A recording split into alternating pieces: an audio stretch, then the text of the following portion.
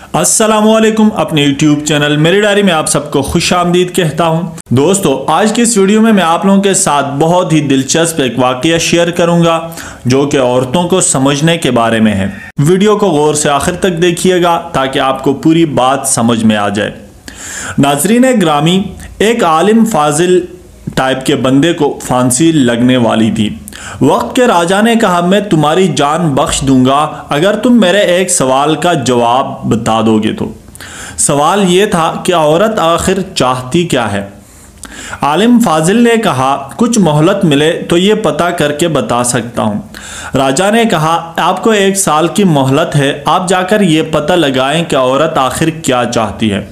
आलिम बहुत घूमा, बहुत से लोगों से मिला, पर कहीं से भी कोई तसल्ली बख्श जवाब नहीं मिला। आखिरकार में किसी ने कहा, दूर जंगल में एक चुड़ैल रहती है, वो ज़रूर बता सकती है तुम्हारे इस सवाल का जवाब। आलिम भागता हुआ उस चुड़ैल के पास पहुँचा और अपना सवाल उसे बताया। चुड़ैल ने कहा कि मैं एक शर्त पर बता दूँगी, अगर तुम मुझसे शादी करोगे तो। इस पर वो आलिम उससे शादी के लिए राज़ी हो गया। उसने सोचा, सही जवाब का पता ना चला तो मैं राजा के हाथों भी तो जान जानी ही है। इसलिए शादी की रजामंदी ही बेहतर है।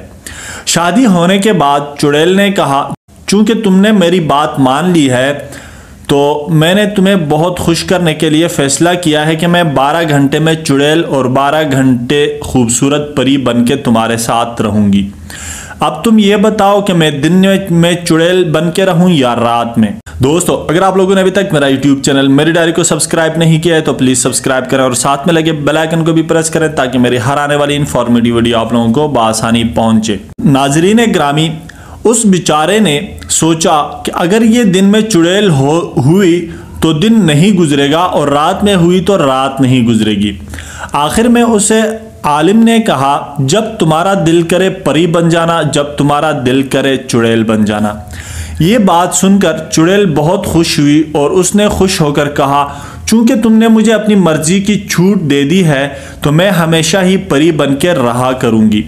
आखिर में चुड़ैल ने कहा कि तुम्हारे सवाल का जवाब भी यही है, औरत हमेशा अपनी मर्ज़ी ही करना चाहती है।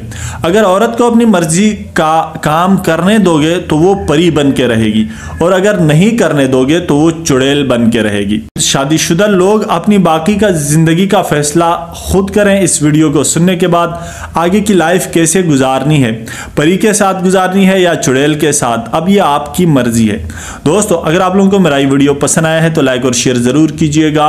मिलते हैं अगली वीडियो में, तब तक के लिए अपना बहुत सारा ख्याल रखिएगा। अल्लाह हाफिज़।